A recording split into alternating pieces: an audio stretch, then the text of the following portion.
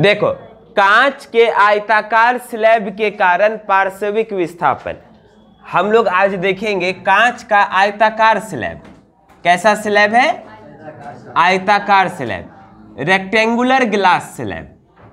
क्या है? Rectangular glass slab. देखो। ये है ना एक आयताकार ग्लास स्लैब। ये क्या है बोलो? आयताकार। कांच का बना हुआ ये है। ये जो है ना टुकड़ा, ये किसका बना हुआ है? कांच का। और इसका आकार कैसा है? आयताकार है रेक्टेंगुलर है। कोई दिक्कत नहीं? हाँ इससे अब देखो कैसे रिफ्रैक्शन होता है। इससे प्रकाश की एक किरण को भेजें। परावर्तन के पश्चात ये किधर जाएगी?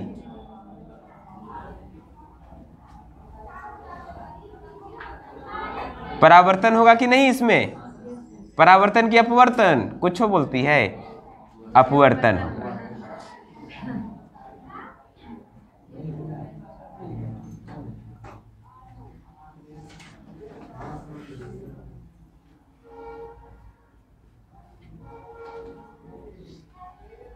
तो अपवर्तन जो होगा, ये किधर जाएगा? नॉर्मल की तरफ़? फिर क्या होगा?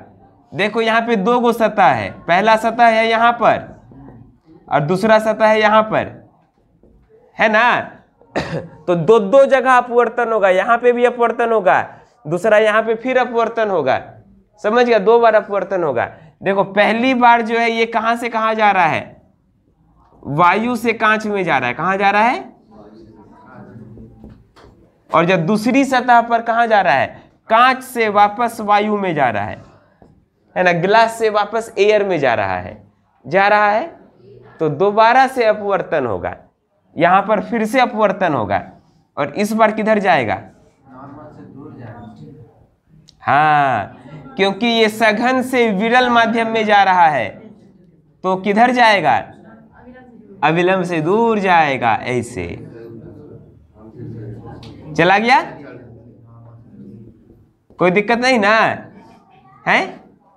अब देखो ये है इसको बोलते हैं क्या चीज़? आपतित किरण। Incident ray. इसको क्या बोलते हैं? हाँ। ना ये अपवर्तित।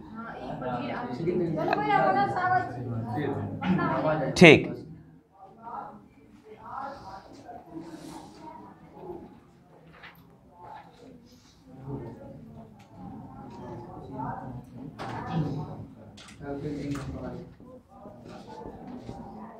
देखो, ये वाली किरण, जो प्रारंभिक किरण था ए बी ये बी सी और ये सी डी ए बी और सी डी पैरेलल हो जाता है। ए बी और सी डी क्या हो जाता है? पैरेलल हो जाता है, समांतर हो जाता है, समझ गए? ग्लास स्लैब में जब भी अपवर्तन होता है तो देखो, ये प्रारंभिक किरण और ये जो अंतिम किरण है, निर्गत किरण कहते हैं इसको, है ना? ये आपतित किरण और ये निर्गत किरण, ये दोनों क्या हो गया? समांतर हो गया। इंसिडेंट रे और इमरजेंट रे ये दोनों क्या हो जाता है हमेशा पैरेलल हो जाता है। समझ गया ना? ये पैरेलल हो जाता है हमेशा। इसको हम लोग आई से दिखाते हैं, इसको ई से दिखाते हैं। समझ गया? तो यहाँ ए बी क्या है? आपतित किरण है। ए बी को क्या कहते हैं? आपतित किरण मतलब इंसिडेंट रे और सी डी को क्या कहते हैं? जो बाहर निकला, निर्गत किरण। कौन किरण? निर्गत किरण मतलब emergent ray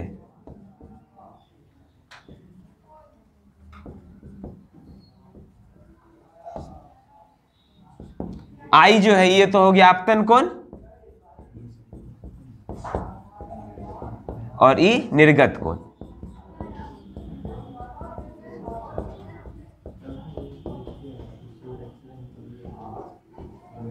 Angle of emergence.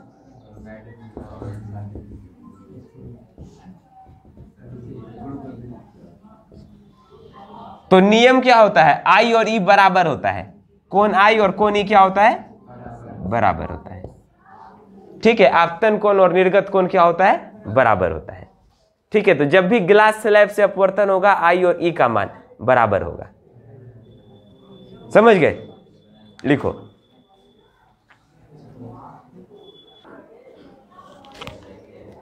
ठीक है तो आई बराबर क्या होता है? ई होता है आपतन कोण बराबर?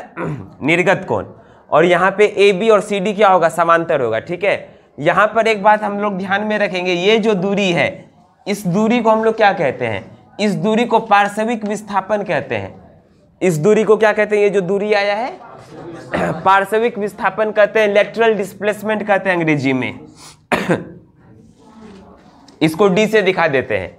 तो ये जो दूरी डी है, इसको हम लोग कहते हैं पार्श्विक विस्थापन। ठीक है ना? और पार्श्विक विस्थापन क्या हो गया? ये जो आपतित किरण और निर्गत किरण के बीच का जो ये दूरी है है ना? इसी को हम लोग पार्श्विक विस्थापन कहते हैं। पार्श्विक विस्थापन या फिर लेटरल डिस्प्लेसमेंट अंग्रेज़ी में कहते हैं।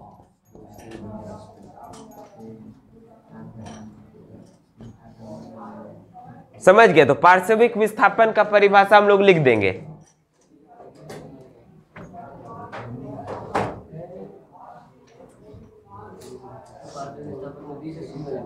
हाँ।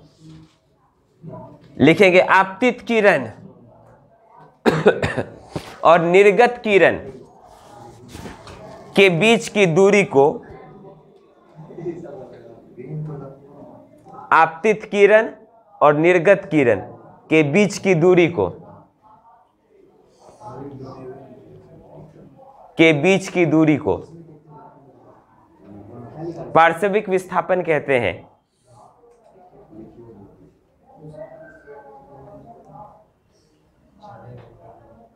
ठीक है? अंग्रेज़ी में distance between incident ray and emergent ray is known as lateral displacement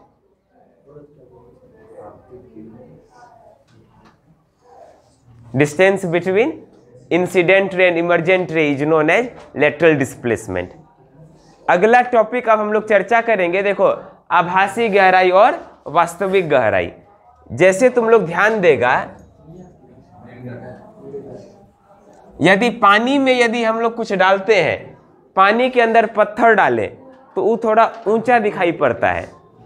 पानी के अंदर पेंसिल डालते हैं तो वो टेढ़ा दिखाई पड़ता है। पानी के अंदर अगर गिलास है, उसमें पानी भरा हुआ, एक पेंसिल डाल देंगे तो पेंसिल हम लोग को थोड़ा टेढ़ा दिखाई पड़ेगा।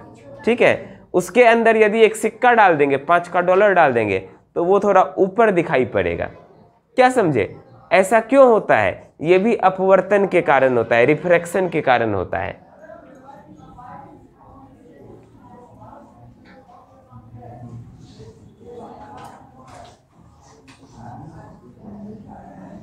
तो लिखेंगे हम लोग अगला टॉपिक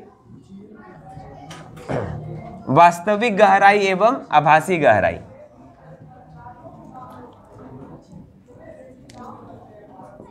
अगला टॉपिक लिखेंगे.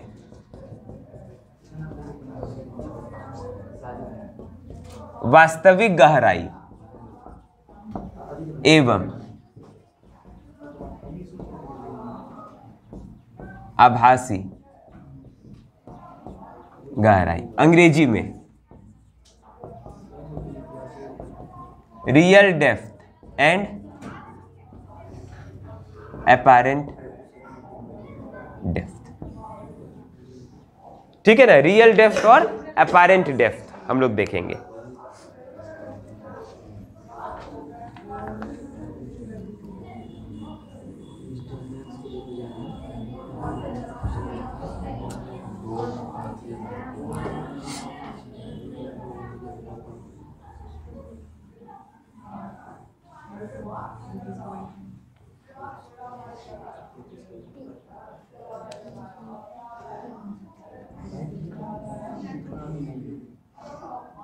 देखो। मान लेते हैं कि यह एक गिलास है, पानी से भरा हुआ है। इसके अंदर एक सिक्का रखते हैं। इसके अंदर क्या रखते हैं? सिक्का। पाँच का डॉलर रख दिया, मान लो यहाँ। नीचे। जब ऊपर से देखेंगे तो हम लोग को सिक्का यहाँ नहीं दिखाई देगा। थोड़ा सा ऊपर दिखाई पड़ता है। थोड़ा ऊपर दिखाई पड़ता है। क्या समझे? क्यों दिखाई पड़ता है? प्रकाश के अपवर्तन के कारण। ठीक है ना? ऑब्जेक्टिव में ये सब पूछा जा सकता है कि गिलास में रखा सिक्का ऊपर दिखाई पड़ता है किस घटना के कारण? तो प्रकाश के अपवर्तन के कारण। ठीक है ना? ऐसा क्वेश्चन सब पूछा जा सकता है। क्यों दिखाई पड़ता है? ऊपर सो देखो। एक किरण इधर भेज दिए, एक किरण इधर भेज दिए।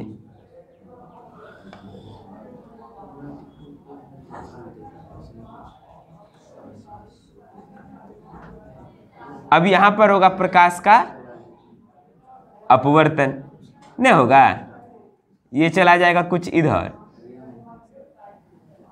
किधर जाएगा? अविलंब से दूर जाएगा दोनों। किधर जाएगा? अविलंब से दूर। नॉर्मल से दूर जाएगा। क्यों? क्योंकि सघन माध्यम से विरल माध्यम में जा रहा है।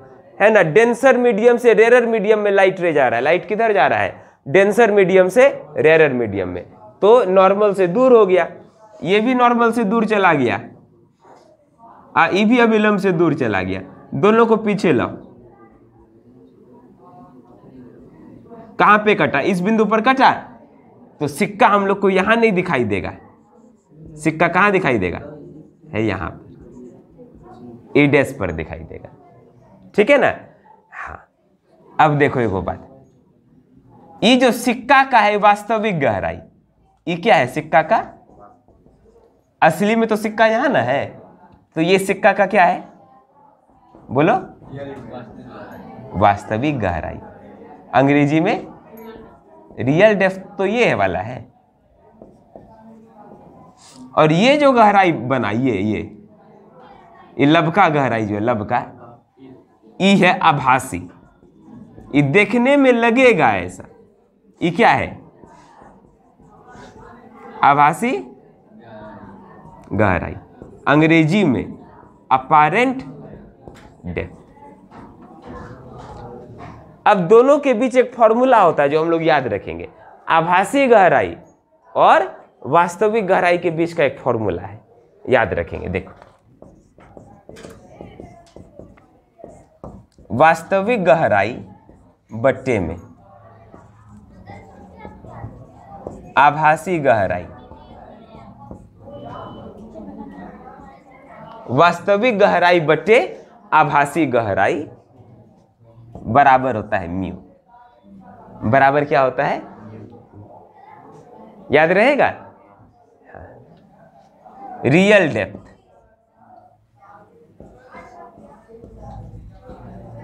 बट्टे में। Apparent depth. बराबर म्यू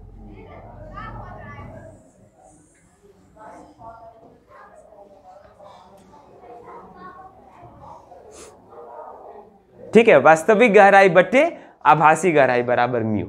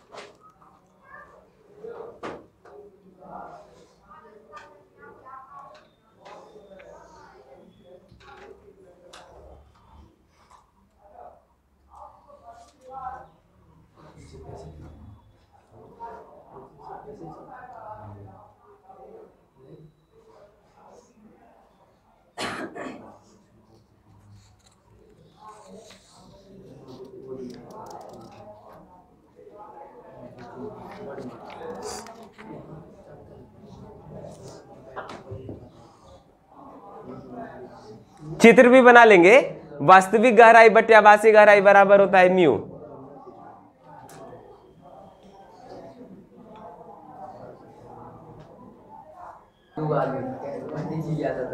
चलो देखो बाबू एक बात।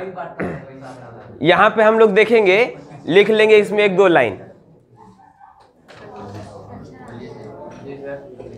पानी में रखा सिक्का, पानी में रखा सिक्का ऊपर दिखाई पड़ता है।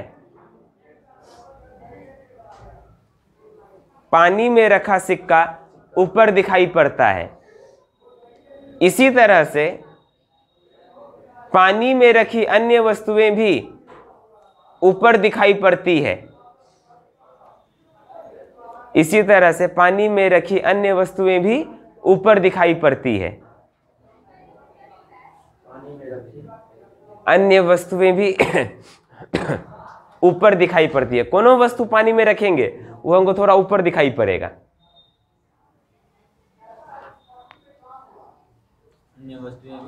ऊपर दिखाई पड़ती है। आ, एक चीज़ और पानी में जब पेंसिल रखते हैं तो टेढ़ा दिखाई पड़ता है। लिखेंगे। पानी में रखा पेंसिल है? उसी में। पानी में रखा पेंसिल टेढ़ा दिखाई पड़ता है। यह सब घटना, यह सब घटना प्रकाश के अपवर्तन के कारण होता है। यह सब घटना प्रकाश के अपवर्तन के कारण, यह सब घटना प्रकाश के अपवर्तन के कारण होती है। ठीक है, सिक्का ऊपर दिखना, सिक्का का कोई भी वस्तु पानी में रखने पर ऊपर दिखाई पड़ता है, पेंसिल टेढ़ा दिखाई पड़ता है, यह सब प्रकाश के अपवर्तन के कारण होता है। अंग्रेज़ी में लिखेंगे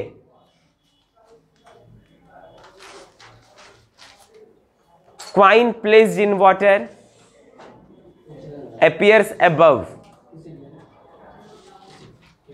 A coin placed in water, appears above. फिर लिखेंगे। Any object place in water also appears above any object place in water also appears above then its actual position also appears above then its actual position और तीसरा बिंदु लिख लेंगे। A pencil placed in water bends a pencil placed in water bends at the surface surface पर मुड़ जाता है. Bends at the surface a pencil placed in water bends at the surface All these phenomena is due to refraction of light.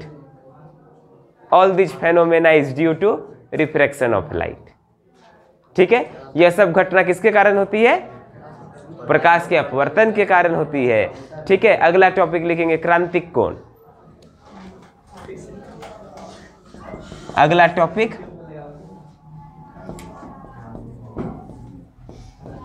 क्रांतिक कोण।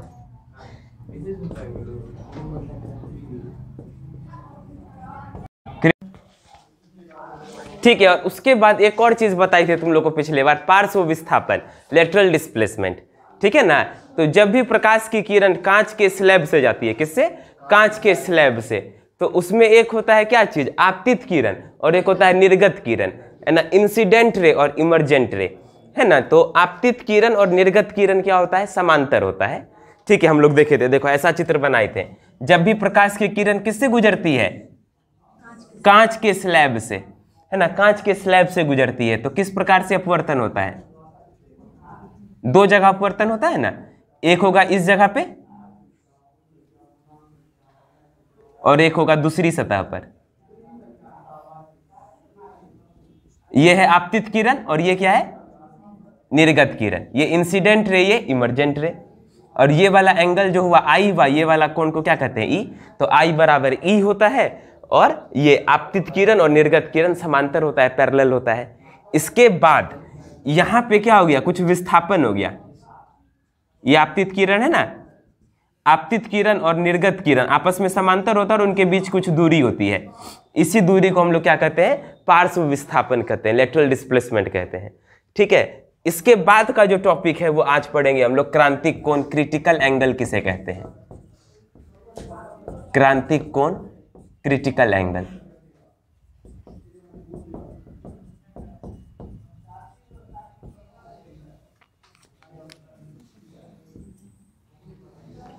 ये होता क्या है? क्रांतिक कोण क्या होता है? है ना? क्रिटिकल एंगल क्या होता है? देखो प्रकाश की किरण सघन माध्यम से विरल माध्यम में जाएगी। किसमें जाएगी? सघन माध्यम से विरल माध्यम में जाएगी। मतलब डेंसर मीडियम से रेरर मीडियम में जाएगी।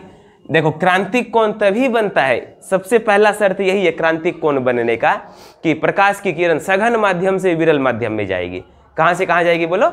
सघन माध्यम से विरल माध्यम में। सबसे पहला शर्त यही है।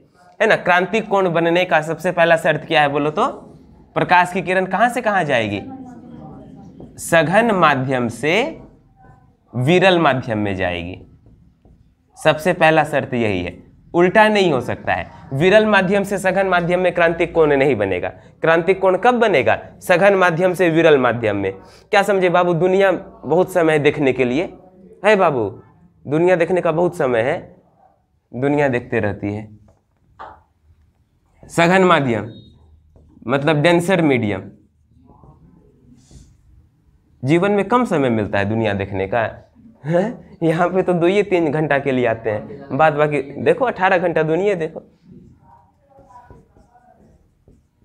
रेरर मीडियम ठीक है ना? तो जब भी प्रकाश की किरण सघन माध्यम से विरल माध्यम में जाती है, तब क्या होता है बोलो तो? क्रांतिक कोण बनता है। कैसे बनता है, सो देखो।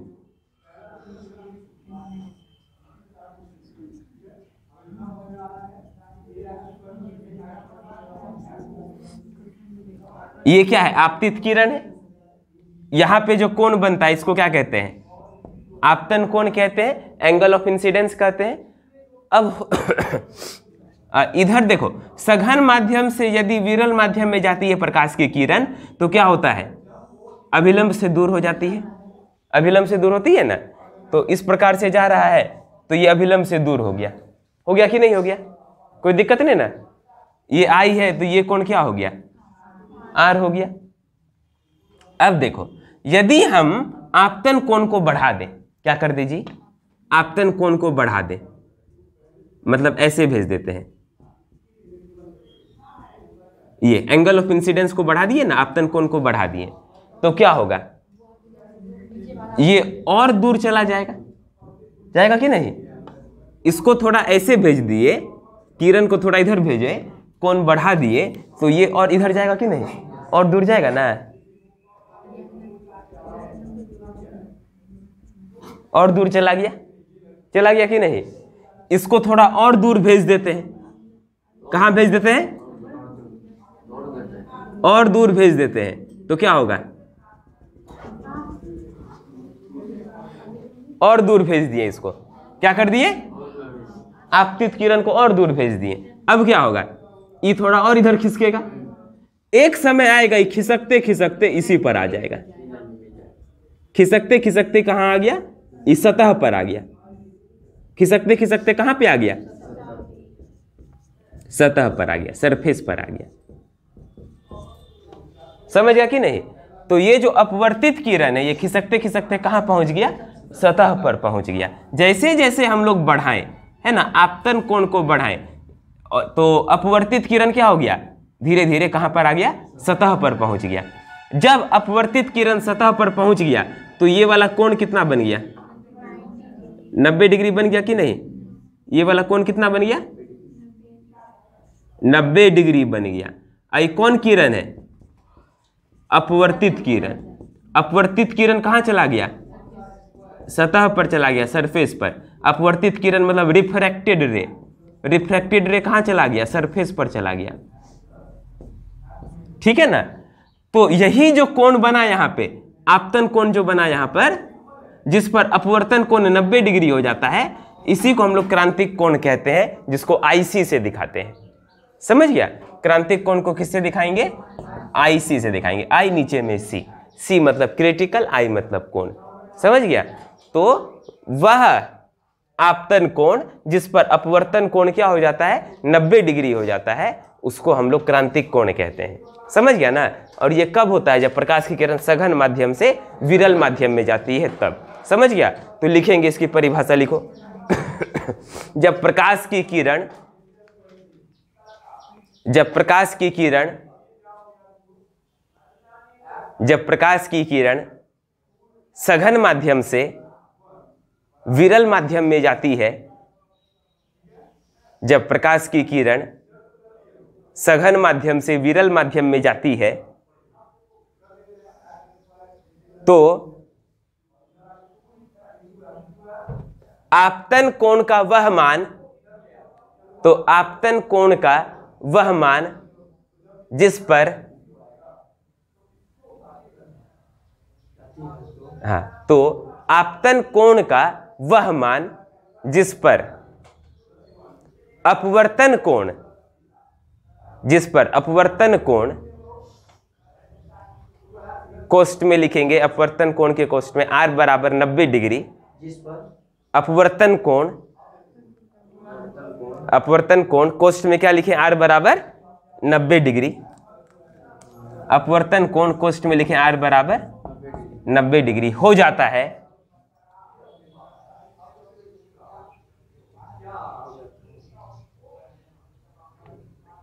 उसे क्रांतिक कोण, उसे क्रांतिक कोण कोष्ट में लिखेंगे। क्रांतिक कोण के कोष्ट में आईसी कहते हैं। समझ गया? अंग्रेज़ी में लिखेंगे when light ray travels from denser medium to rarer medium when light ray travels from denser medium to rarer medium क्रांतिक कोण तभी बनेगा जब प्रकाश की किरण किधर? सघन माध्यम से विरल में जाती है, तभी। तभी बनेगा। डेंसर मीडियम से रेरर मीडियम में जाता है तभी। तो जब प्रकाश के किरण अंग्रेज़ी में लिखे when light rays travel from denser medium to rarer medium when light rays travel from denser medium to rarer medium the angle of incidence the angle of incidence at which the angle of incidence at which angle of refraction becomes 90 degree. The angle of incidence at which angle of refraction becomes 90 degree. कोस्ट में लिख दिए are बराबर 90 degree is called critical angle is called critical angle coast में लिख दिए IC तो क्रांतिक कोण के लिए क्या शर्त है? क्रांतिक कोण के लिए क्या शर्त है बोलो? प्रकाश की किरण सघन माध्यम से विरल माध्यम में जानी चाहिए। लिख लेंगे, शर्त। शर्त क्या है इसका? कंडीशन। प्रकाश की किरण सघन माध्यम से विरल माध्यम में जानी चाहिए। क्रांतिक कोण का शर्त हो गया। प्रकाश की किरण सघन माध्यम से विरल माध्यम में जानी चाहिए। कंडीशन अंग्रेज़ी में लिख लेंगे। Light ray light ray passes from denser medium to rarer medium light ray passes from denser medium to rarer medium अब देखो इसका फॉर्मूला निकाल लेते हैं। क्रांतिक कोण का क्या फॉर्मूला होगा?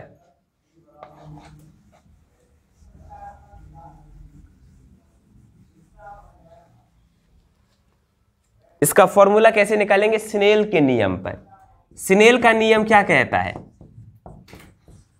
स्नेल लॉ क्या कहता है? बोलो। साइन आई बट्टे साइन आर, बराबर? नहीं, म्यू टू बट्टे म्यू वन।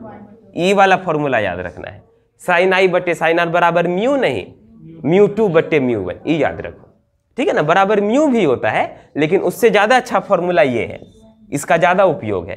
साइन आई बट्टे साइन आर बराबर म्यू टू बट्टे म्यू वन। इसका ज़्यादा उपयोग है। देखो, यहाँ पर क्या है? आई के जगह लिख देते हैं क्या चीज़? आई सी क्रांतिक कोण दे देते हैं। तो जब आई हो जाता है आई सी तो आर कितना हो जाता है? 90 डिग्री। तो आर के जगह क्या लिख दिए 90 डिग्री बराबर। म्यू टू बटे म्यू वन। मान लेते हैं कि ये जो विरल माध्यम है, ये वायु है। मान लेते हैं क्या बोलो? ये जो विरल माध्यम है, ये क्या है? वायु है एयर है, जिसका म्यू क्या होता है? वन होता है। ठीक है? तो म्यू टू के जगह क्या आएगा? वन। ऊपर में म्यू वन के जगह क्या लिख देते हैं? म्यू। ठीक है? म्यू वन के जगह क्या लिख दिए? म्यू। ये कुछ भी हो सकता है। जल हो, कांच हो, हीरा हो, कुछ भी हो। ठीक है? और ये वाला माध्यम क्या है? वायु है। दूसरा माध्यम वायु है। क्योंकि वायु सबसे ज़्यादा विरल माध्यम होता है। क्या समझे? इससे ज़्यादा कोई रेरर नहीं है। इससे ज़्यादा कोई भी विरल नहीं है। अब साइन नब्बे का मान। साइन नब्बे का मान जी, एक होता है। तो साइन आईसी बराबर क्या हो गया? एक बट्टे म्यू यही है क्रांतिक कोण का मान। अब साइन को इधर भेज दो। तो आईसी बराबर क्या हो गया? मैथ में पढ़ा था ना, साइन को इधर भेजना, साइन इनवर्स। एक बट्टे म्यू तो आईसी बराबर साइन इनवर्स, एक बट्टे म्यू होता है। यही फॉर्मूला है क्रांतिक कोण का। है ना? क्रांतिक कोण बराबर क्या होता है? साइन इनवर्स एक बटे म्यू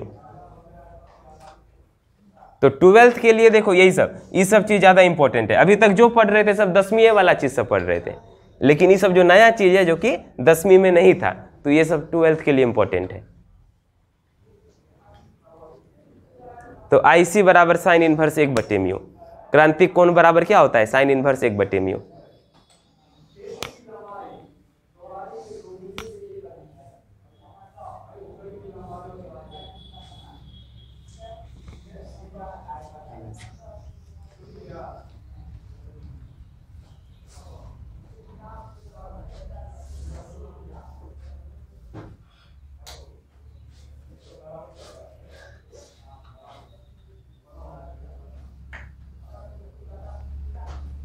आईसी बराबर क्या होता है? बोलो साइन इनवर्स एक बटे म्यू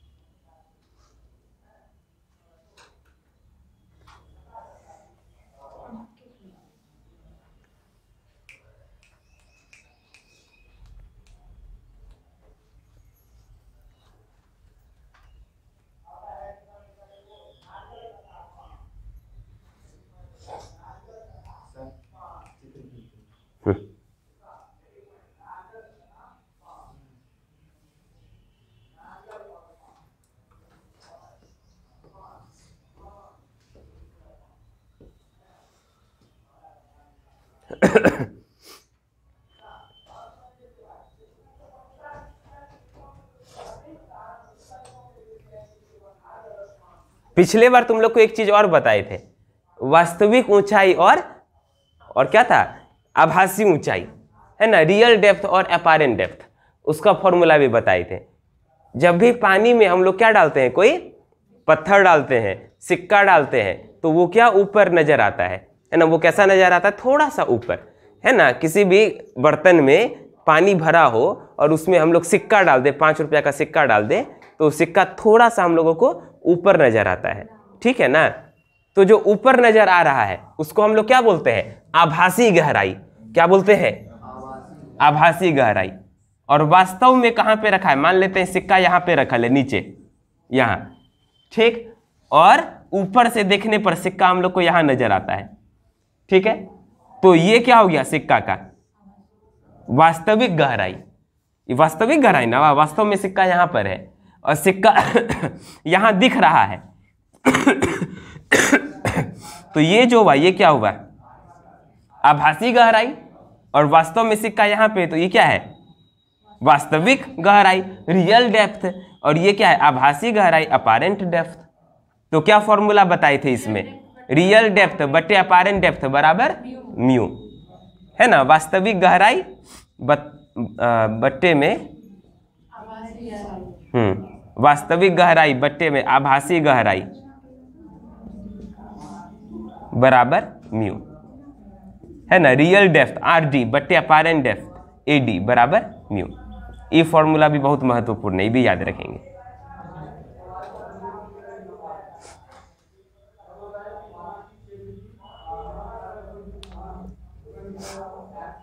ये चीज़ हम लोग चर्चा कर चुके हैं पिछले बार, गहराई वाला। इसका चित्र भी बना के दिखाए थे। है ना? तो बोलेगा कि जो वास्तविक गहराई भाषी गहराई होता है, किस कारण होता है? तो प्रकाश के अपवर्तन के कारण होता है। है ना? रिफ्रैक्शन ऑफ़ लाइट के कारण होता है। अगला टॉपिक देखेंगे। पूर्ण आंतरिक परावर्तन।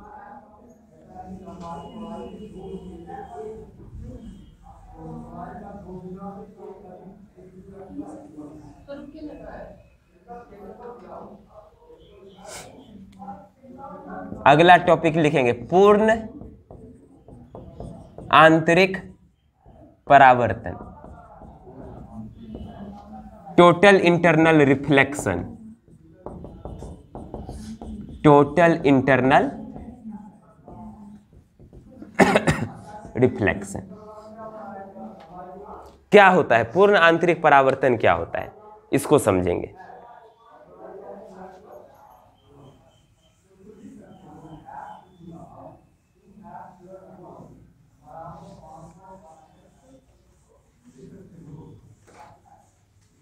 रानी दीदी जिंदाबाद, आओ। इतना लेट से का आई? उसका क्लास खत्म हो गया। आज बैठा लो अपने साथ।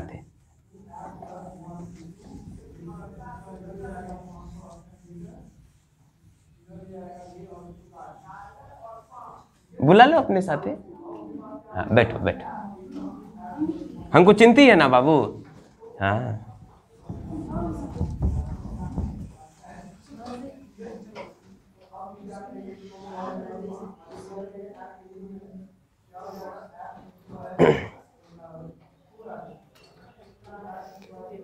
पूर्ण आंतरिक परावर्तन टोटल इंटरनल रिफ्लेक्शन क्या होता है? सो देखो। क्रांति कौन समझ गए?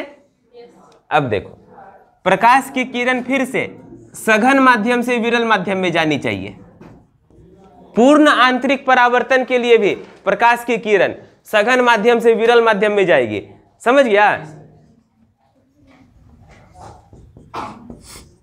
सघन माध्यम से विरल माध्यम में।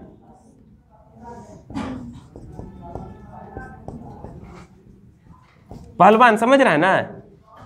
हाँ तुम्हारा नाम पहलवान से रखा गया। ठीक है, समझो पहलवान। सघन माध्यम से विरल माध्यम। समझ गया?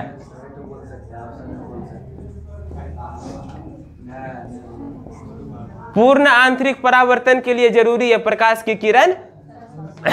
हाँ जैसे क्रांतिक कोण में नहीं था, प्रकाश की किरण सघन माध्यम से, विरल माध्यम में जानी चाहिए। तो इसके लिए भी ज़रूरी है, पूर्ण आंतरिक परावर्तन के लिए भी। प्रकाश की किरण सघन माध्यम से कहा जाएगी? विरल माध्यम में जाएगी। इसके लिए भी शर्त है।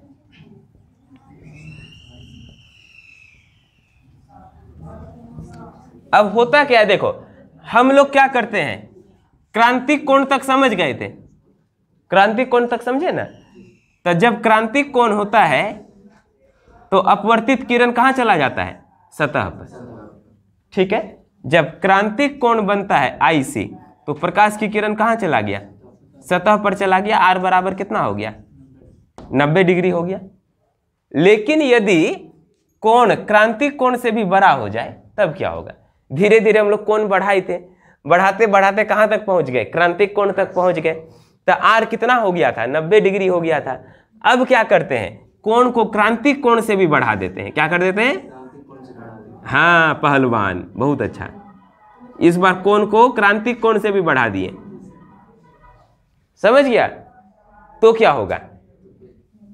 तो अब तो आर के लिए कहीं जगह नहीं है। तो आर कहाँ चला जाएगा? ये किरण कहाँ जाएगा? प्रतीत किरण इसी में चला जाएगा। पहले वाले माध्यम में चला गया। कहाँ चला गया? पहले वाले। माध्यम से। तो जिस माध्यम में आया उसी माध्यम में चला गया। तो जब प्रकाश की किरण जिस माध्यम से आती है, वापस उसी में लौट जाए, इस घटना को क्या कहते हैं? है? परावर्तन कहते हैं तो। जब प्रकाश की किरण जिस माध्यम से आए, उसी में लौट जाए, इसको परावर्तन ना कहते हैं। पीछे पढ़ाए थे ना परावर्तन? लेकिन परावर्तन जो होता था, अभी तक दर्पण के द्वारा किया जाता था। लेकिन यहाँ बिना दर्पणे के परावर्तन हो गया। नहीं हो गया? अभी तक परावर्तन के लिए क्या चाहिए था? दर्पण। कौन दर्पण? कोई भी दर्पण चाहिए था। लेकिन यहाँ पर क्या हो गया? बिना दर्पण के परावर्तन हो गया। क्या समझे? तो इसीलिए इसको बोले परावर्तन। है ना? और ये जो परावर्तन होता है पूर्ण रूप से होता है। क्या समझे? और अंदर ही अंदर में हो जाता है। तो पूर्ण आंतरिक परावर्तन। क्या समझे? तो इसको हम लोग क्या बोलते हैं इस घटना को? पूर्ण आंतरिक परावर्तन। जो बिना दर्पण के हो उसको क्या बोलते हैं? पूर्ण आंतरिक परावर्तन। समझ गया? तो पूर्ण आंतरिक परावर्तन के लिए दो शर्त ज़रूरी है। पूर्ण आंतरिक परावर्तन के लिए कितना शर्त ज़रूरी है? दो गो शर्त है। दो गो कंडीशन है। क्या सब शर्त है? पूर्ण आंतरिक परावर्तन के लिए दो गो शर्त है। कौन कौन? सो सब नहीं होता है बाबू। पहले सुन लो, तब बोलना। दो शर्त चाहिए। पहला शर्त क्या है? प्रकाश की किरण सघन माध्यम से, विरल माध्यम में जानी चाहिए। ठीक? और दूसरा शर्त है कि जो आपतन कोण होना चाहिए, वह क्रांतिक कोण से बड़ा होना चाहिए। समझ गया ना? ये जो आपतन कोण होगा एंगल ऑफ़ इंसिडेंस ये क्या होगा? क्रांतिक कोण से आईसी से बड़ा होना चाहिए। तभी ना होगा पूर्ण आंतरिक परावर्तन आईसी से बड़ा होना चाहिए आई ये दो गो शर्त हुआ। समझ गया तो लिखो दो गो शर्त। अभी परिभाषा नहीं लिखा है इसका, शर्त लिखा रहे हैं। हम्म लिखो। पहला शर्त क्या है? प्रकाश की किरण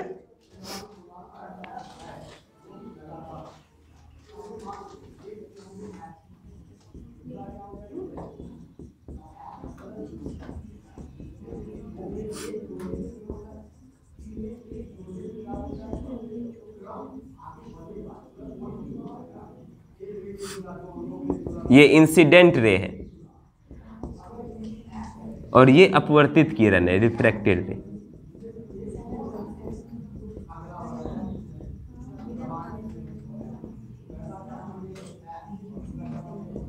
लिखेंगे, पहला शर्त प्रकाश की किरण सघन माध्यम से विरल माध्यम में जानी चाहिए। लिखा? पहला शर्त क्या लिखे? प्रकाश की किरण सघन माध्यम से, विरल माध्यम में जानी चाहिए। अंग्रेज़ी में लिखे light ray passes from denser medium to rarer medium प्रकाश की किरण सघन माध्यम से, विरल माध्यम में जानी चाहिए। Light ray passes from denser medium to rarer medium पहला शर्त हो गया। अब दूसरा शर्त लिखो।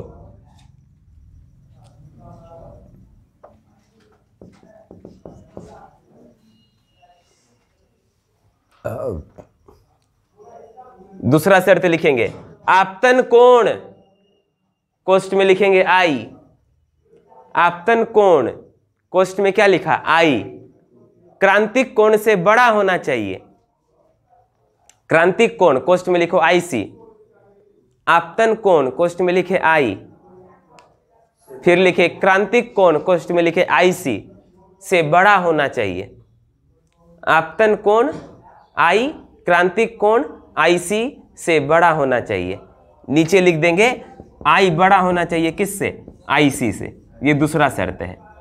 आई जो होना चाहिए, बड़ा होना चाहिए किससे? आईसी से। अंग्रेज़ी में क्या लिखेंगे? Angle of incidence is greater than critical angle. Angle of incidence cost में लिखे i, is greater than critical angle coast में लिखे आईसी। तो अंग्रेज़ी में पहला कंडीशन क्या हो गया? Light ray passes from denser medium to rarer medium दूसरा शर्त हो गया angle of incidence is greater than critical angle i is greater than i c समझ गया? ये दो गो शर्त हो गया। ये दो गो फुलफिल होगा, ये दो शर्त पूरा होगा, तबे पूर्ण आंतरिक परावर्तन होगा। समझ गया? अब इसका परिभाषा लिखो, पूर्ण आंतरिक परावर्तन का। इसका परिभाषा लिखेंगे।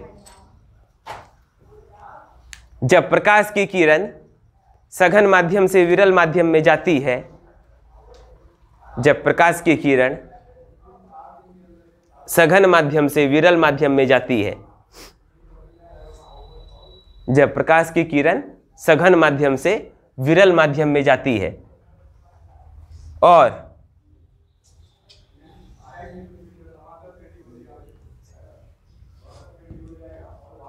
और आपतन कोण और आपतन कोण क्रांतिक कोण से बड़ा होता है और आपतन कोण क्रांतिक कोण से बड़ा होता है। आपतन कोण क्रांतिक कोण से बड़ा होता है। तो प्रकाश की किरण वापस पहले वाले माध्यम में ही परावर्तित हो जाती है। तो प्रकाश की किरण वापस तो प्रकाश की किरण वापस पहले वाले माध्यम में ही परावर्तित हो जाती है। तो प्रकाश की किरण वापस पहले वाले माध्यम में ही परावर्तित हो जाती है। तो प्रकाश की किरण वापस पहले वाले माध्यम में ही परावर्तित हो जाती है। इस घटना को पूर्ण आंतरिक परावर्तन कहते हैं। इस घटना को पूर्ण आंतरिक परावर्तन कहते हैं। अंग्रेज़ी में लिखेंगे when light ray when light ray travels from denser medium to rarer medium when light ray travels from denser medium to rarer medium, when light ray travels from denser medium to rarer medium. And angle of incidence is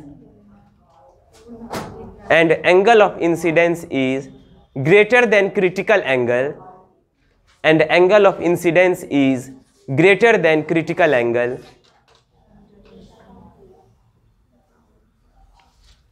Then light ray then light ray is reflected back in the same medium then light ray is reflected back in the same medium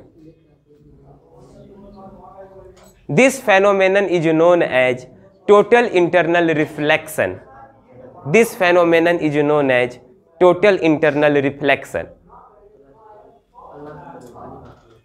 समझ गया कोई दिक्कत नहीं ना? पूर्ण आंतरिक परावर्तन समझ गया? कोई दिक्कत नहीं ना? समझ गए बाबू? है? ये सब भी दुनिया है बाबू। ये सब भी दुनिया है। क्या समझे? ये सबका दुनिया में बहुत उपयोग है। क्या समझे? दुनिया में बहुत उपयोग है इसका। इसका उपयोग बताएँगे। इसका बहुत सारे जगह उपयोग है। है ना? पूर्ण आंतरिक परावर्तन का बहुत उपयोग है। क्या समझे? इसका कहाँ कहाँ उपयोग है? इंटरनेट का जो सिग्नल होता है उसको एक स्थान से दूसरे स्थान भेजने में इसका उपयोग होता है। क्या समझे? पेट के अंदर का जो आंतरिक ऑर्गेन होता है, आंतरिक अंग होता है, लीवर, किडनी इस सबको देखने में डॉक्टर के द्वारा इसका उपयोग किया जाता है। क्या समझे? इसका और भी बहुत सारा उपयोग है। सिग्नल को एक जगह से दूसरे जगह भेजने में, है ना? अपना आंतरिक अंगों को देखने में डॉक्टरों के द्वारा इसका उपयोग होता है। समझ गया कि नहीं? तो इसका उपयोग सब हम लोग अगले बार देखेंगे। हीरा का चमकना, हीरा जो इतना चमकता है, उसके लिए भी पूर्ण आंतरिक परावर्तन ही कारण है। समझ गया ना? तो इन सब उपयोगों को हम लोग अगले बार देखेंगे। समझ गए?